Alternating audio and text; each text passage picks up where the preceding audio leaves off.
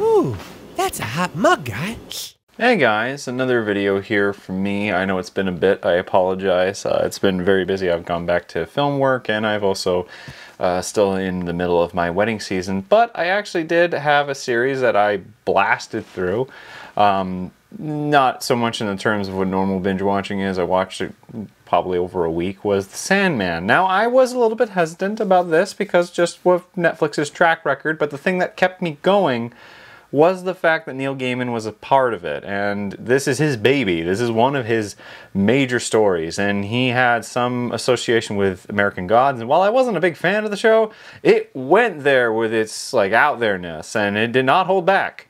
So that's like a lot of what Neil's storytelling is. I do know The Sandman on part. I have read some of the comics, but I really got introduced to it when Audible did that uh, that audio story with James McAvoy and Taron Egerton and a bunch of different characters. And a lot of those stories from the first volume are in this one.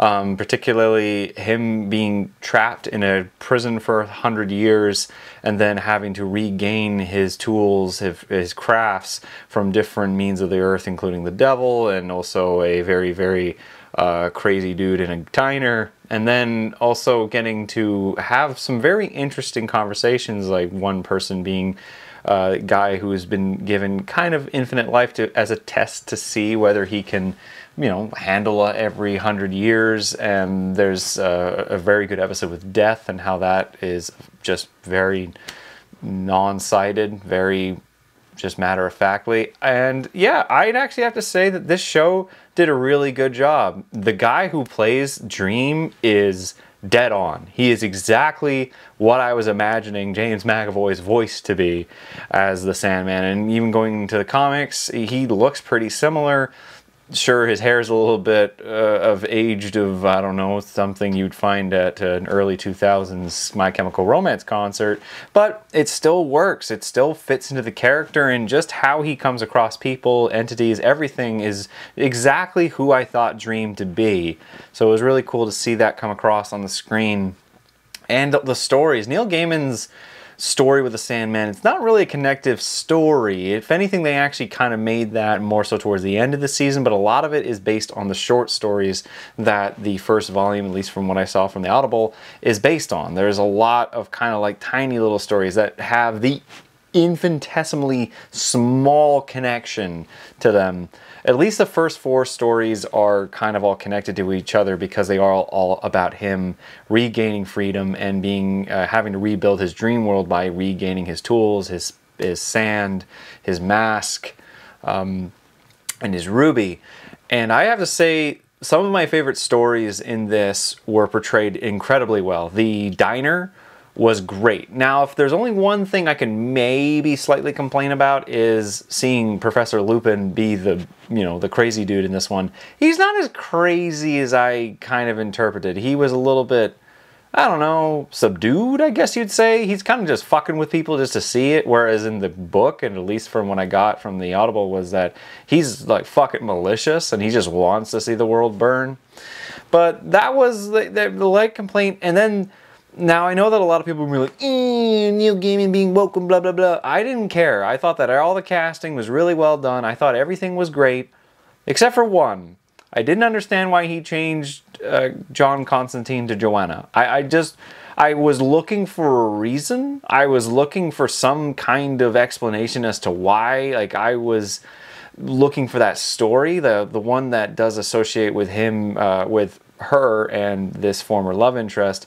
Very same as the comic because he's going back to an old love interest who's a drug addict who's basically been living off of his dream powder and is just stuck there and just dying away. But they didn't really change anything about it. They just kind of threw in a different story. And I, I felt that was a little bit presumption, presumptuous of him because John Constantine isn't his character as far as I know. Correct me if I'm wrong and I apologize if I am. But John's a John been John for a long time. So I like I said, I didn't get that change. I thought that was just, you know, whatever, just trying something different. But that's my only kind of casting complaint. It's just it just didn't make any sense to me. But other than that, I really liked all of the casting from everyone else. I liked uh, what's her name from Game of Thrones who played Lucifer. I'll admit it was different to see uh, because Martin Sheen does the audiobook, but her just being as tall as she is, and then the fight with the words, the battle of metaphors and and literal versions coming to life was really cool to see. I enjoyed that. Now, though, the big thing that's been kind of a complaint with some people is that this is not non Sandman friendly. If you are not a fan of the show, you're really going to be out to fucking lunch. And that statement is kind of true. It is much more heavy handed towards fans, which, hey, you know what?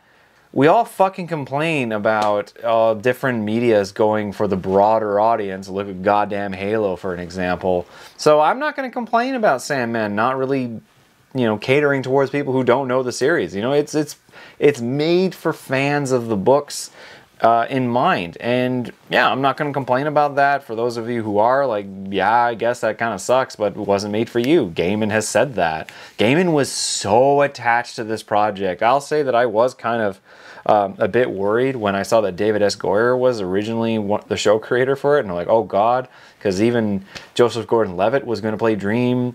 And that was years ago. That was when they were still talking about this becoming a movie. And then it turned into a television series. And in the end, I'd have to say that I think that the show did a lot better than I thought it was going to do. I was pleasantly surprised. I like the Corinthian character, which now, if I'm wrong, I don't remember him popping up in the first volume of the Audible series. Again, I have not read as much of the comics as I should, but I really actually liked what his character became and his association with the story at the end. I thought that was really cool. I did like how they used the Vortex character as a much more uh, impactful. Like it's already a pretty impactful story in, in terms of the realm between reality and dreams, but it was much more cohesive to the narrative uh, just with how they they kind of you know tie it in in the last four episodes. But yeah, I would say that Sandman is definitely made for fans in mind. It is a very cool interpretation of the stories. I was pleasantly surprised with how it turned out, and I actually am quite excited to see the second season. I do admit, like I said, it is not a cohesive story. You kind of watch a few things once and then maybe watch a few little stories, and you could watch this thing out of order almost, and you wouldn't be any more out of, like, except for the last four episodes and maybe a little bit of the first two or three, you wouldn't really be out to lunch you in terms of Sandman fans. So in the end, I'm going to give the Sandman a 5 out of 7.